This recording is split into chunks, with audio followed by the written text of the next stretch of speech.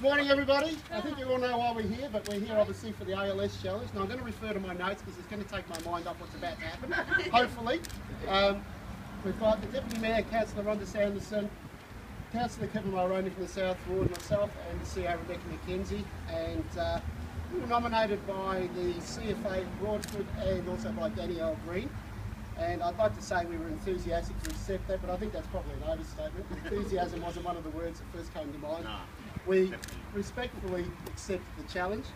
Um, and like it is for a great cause, as you all know, and it's all about um, motor neuron disease and uh, we're not enthusiastic to do it, but we're certainly supportive to do it. And uh, I'm not really looking forward to this, I have to see my wife do it this morning. I'm not really looking forward to it. So uh, now, it is for a great cause, as I said. Uh, it's, um, it's an insidious disease, and I think anything we can do to, to help raise the profile and help fundraise in that sort of respect is a great thing to do. So we're getting close to it. So I'm going to uh, I'm going to drag it out. drag it out as long as I can.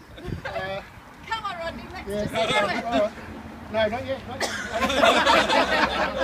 yet. So we are going to nominate the federal member for McEwen, Rob Mitchell. We're also going to nominate the Nexus Health CEO, Suzanne Miller, and we're also going to nominate the CEO of Kilmore Hospital, Bart Ruyter. All right. Don't Oh, forget there- to donate. Now, There's one, there's one more. Whoever laughs the loudest, I'm nominating them. so I might get you. Hang on, can I take my shoes off? Back to you.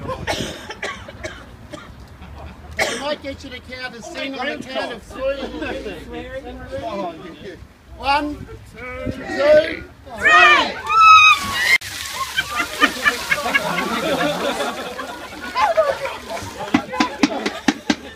Is that one bucket or?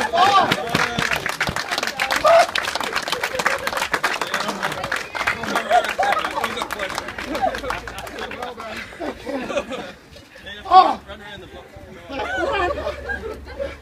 I think we're awake. Oh!